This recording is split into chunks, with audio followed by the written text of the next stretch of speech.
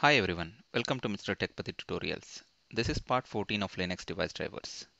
In earlier sessions Linux device driver part 13, we discussed about allocating and freeing major and minor numbers. We discussed about the best way to allocate major numbers for a device. We also learned how to write a small code snippet to allocate device numbers for our scull character device. This session is an extension of previous session where we are going to learn further steps which we need to follow before writing a simple character device driver. In this session we are going to discuss following topics important data structures. Under this topic, we learn about file operations, file structure, inode number, and inode structure. Most of the fundamental device driver operations involve these three important kernel data structures. Before writing a device driver, it is very important to gain basic understanding of these three data structures. Let's start with file operations. From earlier sessions, we know how to allocate a device number for our device driver using register character region or allocate character region. Now we need to connect our device driver operations to these numbers. To establish this connection, we need file operation structure. This structure is defined in Linux header file fs.h.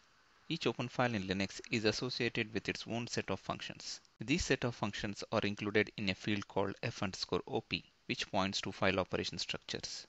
In short, we call pointer to file operations as FOPs. Each field in this file operation structure must point to function in the driver that implements a specific operations or be left null for unsupported operations. This small diagram here will give you a clear picture on how the file and file operations are associated.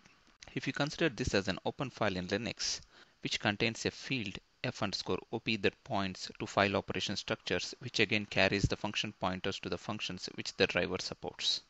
Let's list few file operations. As you can see, it's a structure which contains function pointers to various functions like open, release, llseek, read, write, and ioctl. For convenience, I have written function pointers to each functions in plain English here. If you really want to see how these function pointers are, you need to check the next slide. These are the function pointers which are under file operation structures.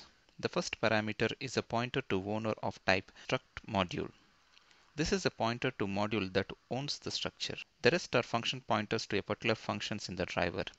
I will leave it for you to pause this video now and read brief information provided under each entry. Now we know about file operations. We have been learning a topic and applying it to the Scull device driver.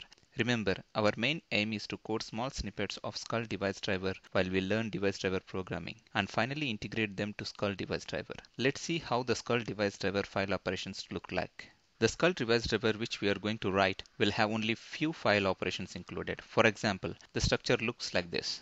A structure scull underscore fops initialized with various function pointers. First parameters will be assigned to this module. llseek function pointer is assigned to scull underscore llseek. The read function pointer is assigned to scull underscore read. Similarly, function pointers of write, ioctl, open, release are assigned to respective scull functions. Just to recap, we learned that OpenFile in Linux is associated with its own set of functions. This set of functions are included in a field called f underscore op, which points to file underscore operations, usually called FOPs. We have gone through the set of function pointers in FOPs. We have also seen how these file pointers are used in Scull device driver. Hope you are clear on file operations topic. Coming to our next topic, file structure. This is defined in fs.h Linux header file. Many novice Linux device driver programmers are a bit confused with file and file in caps. File is different from caps file pointer of user space programs. File in caps is used in C library and it's not used in kernel code.